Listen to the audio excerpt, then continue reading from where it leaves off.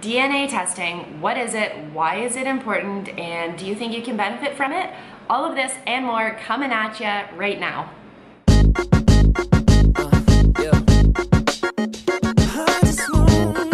Hey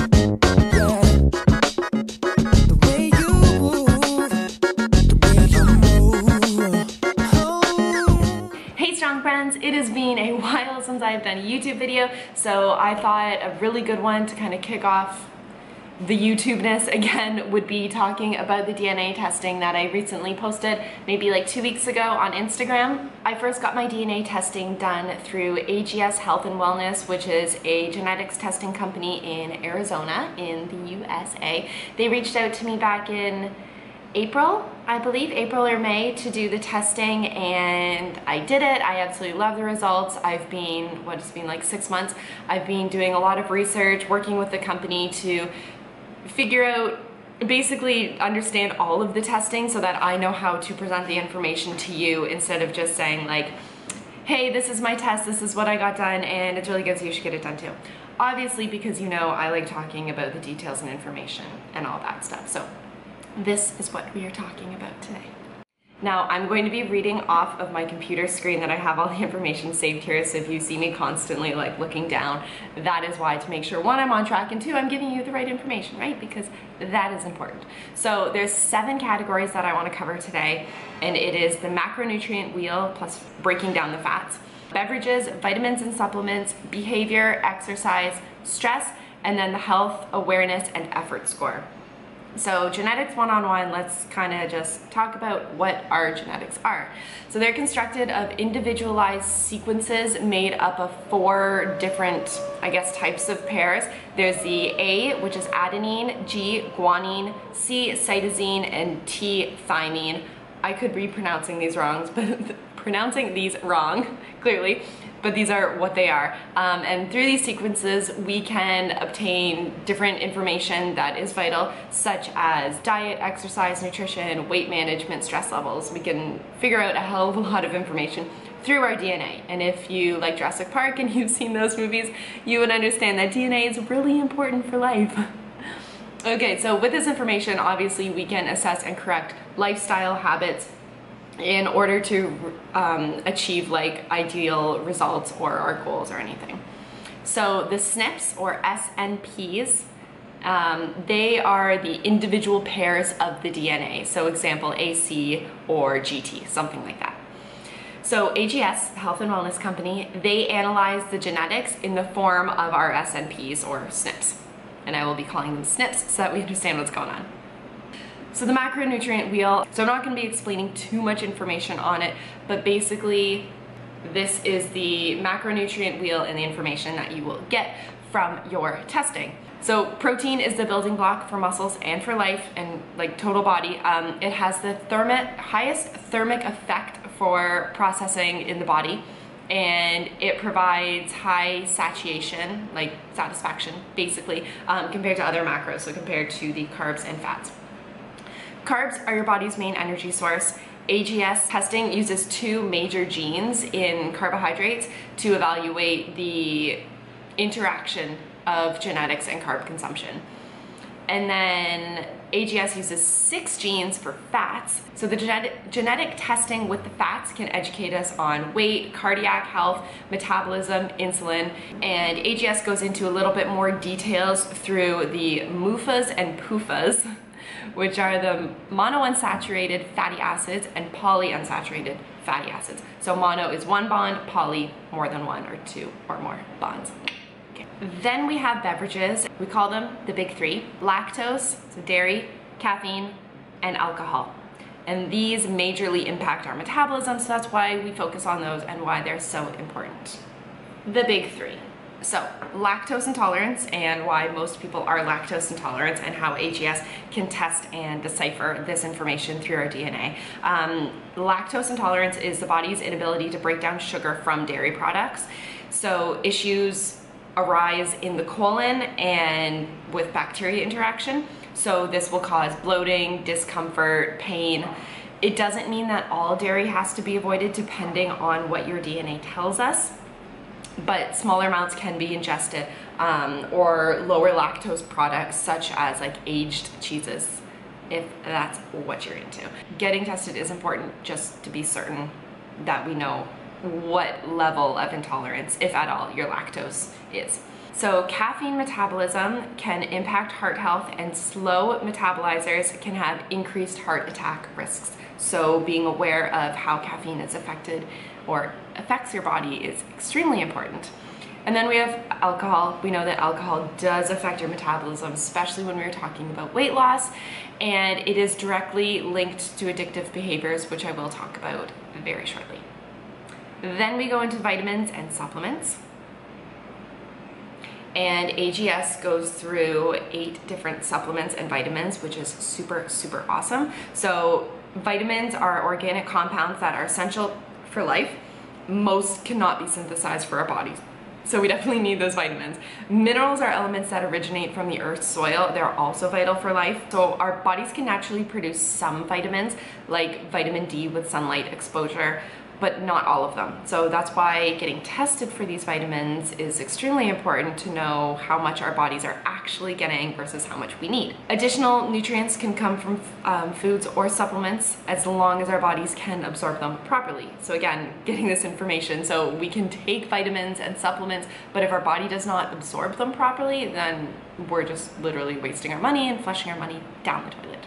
The vitamins that AGS tests are vitamin A, which is required to maintain healthy skin, a strong immune system, good vision, and achieve adequate growth. Then we have vitamins B6, which is required for carb and protein metabolism. It supports blood cell synthesis and neurotransmitter, neurotransmitter synthesis, which is basically like our nerves. Then we have vitamin B9, which is also folate. It is required for DNA synthesis and amino acid metabolism and cell growth. Vitamin B12 is required to assist in the metabolism of folate, so which is also necessarily for red, necessary for red blood cells. Vitamin D, obviously we know that vitamin D is the sunshine and it is required to regulate blood calcium levels and achieve or maintain healthy hormone balance. Vitamin E is required to protect our cells from oxidization and iron, which we know iron is very important, especially for women. It is required for the formation of hemoglobin, which is used to carry oxygen around the body, and as well to assist in the production of neurotransmitters, so our nerves, in short. Then we go into behavior, and I think, oh, okay, I know, I absolutely agree with AGS when they mention that this is the most difficult to define mostly because of habits versus actual genetics. So when we can actually be tested to see what our genetics and what our DNA tells us, then we can know for certain what is actually genetics and what is just habits over our lifetime, right? So behaviors can impact brain chemistry and can have a significant impact on our hormones. Women, this is important. Um, and it's important to remember that behaviors are adaptable and can be changed through improving our lifestyle. The testing that AGS does covers food cravings, taste, sweet tooths, emotional eating, and addictive behaviors like I had mentioned about the alcohol. So very, very important. Then AGS also tests our exercise, which I think this was probably the most interesting one for me.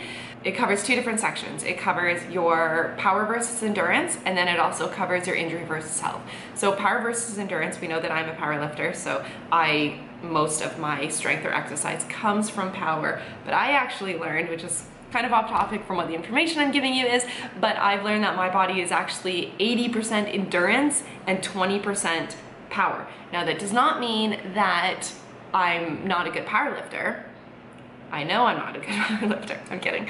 A lot of exercise is based on what you enjoy doing. So not necessarily what you're best at, but what you enjoy the most. I know I'm not a good power lifter, but I still do it because I enjoy it the most versus the endurance. But it is good information for me to know and how my body will respond with everything. We know that exercise is very important for many different elements in our life. Um, it affects mood, stress management, improves our heart health, improves blood circulation, boosts nu nutrient absorption. I cannot talk today. Um, improves our energy levels, sleep, sex drive, like exercise is very important to us. If you haven't understood that I preach about exercise a lot before, this is very important. AGS also tests, like I had mentioned, injury versus health. So the structure and integrity of our tendons and our connective tissues, the production of growth factor, so growth hormone, and our joint health. And this is where collagen supplementation is very important. That's not something I'm getting into today in this video, but I will talk about that later. The new element that AGS has been testing for is our stress response. And this one I think is like super, super cool. It breaks it down over short-term stress and long-term stress. Short-term stress is a reaction to new challenges or problems like taking a test, getting into an argument with a friend or spouse, taking an interview, so short-term, something that just happens temporarily and usually doesn't have long-term effects, right? Makes sense. Short-term stress can result in poor concentration or unsuccessful communication. it also affects the let's see if I say this right, hypothalamic pituitary adrenal axis, which regulates and impacts digestion, the immune system, mood and emotions, energy levels, and your sex hormones. Short-term stress does have a much bigger impact than any of us probably think it does. Then there's long-term stress and we can see how our body responds to it, which is something that's persistent over time. Like financial pressure, occupational stress, something with your job that you don't have just for a day or for an hour or something.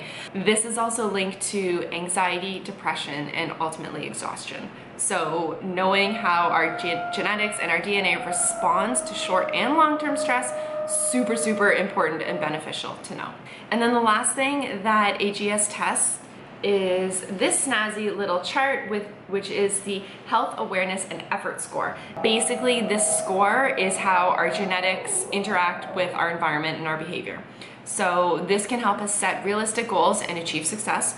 It reflects our individual's genetic flexibility based on our 20 genetic variants as previously discussed and basically how we can expect to see changes and progress over time if we have a structured plan. So it's not just saying that just because my number is 6.5 doesn't mean that all of a sudden like, cool, I can make these changes and all this stuff is gonna happen. I still have to put in a lot of effort, but this just shows how much change I can expect to see in a short or long period of time. One last thing that I do want to cover is a lot of people were asking me how this compares to the 23andMe testing. Now, the 23andMe testing is still really good. I'm not saying that it's not. There, but there's only one type of testing with the 23andMe, and that is the 23 genes. That is why it is 23andMe. Now, AGS has two tests. It has NutriFit, which does also test the 23 genes, and then there's the Premium, which tests 51 genes in addition to stress, cholesterol, blood pressure, injury and recovery, behavioral habits, and beverages. Now, if you have already been tested for 23andMe, you can actually, with a consent form through AGS, you can get, you can take your pre-existing 23andMe test and get it transferred over. They can take those genes, break them down, and kind of swap around combinations to figure out what the additional 51 or the total 51 genes gives you so you can find out more information without having to do another test based on your 23andMe testing. So I hope with the help of the construction underneath me and the buzzing noise that you're probably hearing, I hope this does give you a little bit more information. Now I am gonna be working with AGS. I will link their information below so that you can check out their website. I will give you a special link through my own, I guess, affiliate program if that's what you are interested in. If you do have more questions, please, please, please ask me because I want to tell you everything that I can before you sign up for this test. Now, this test you only have to take once. It's not something that you need to get tested every six months or something because, like I said, this is your genetics and your DNA and it is what it is. So yes, it is a little bit pricey, but finding out this information one time and literally never having to get it done again is probably going to save you a lot of time and stress in relation to your goals and your progress and your journey with everything. So thank you for hanging out. I hope that you, I hope that this does answer some questions. And if you have any more questions, um, you can ask me below in the comments. You can send me a personal message. You can email me, courtney.u at live.ca. Go to my website, go to my Instagram, which is probably where you're coming from for this YouTube video. Thank you and have a bomb.com day. Hasta luego, strong friends.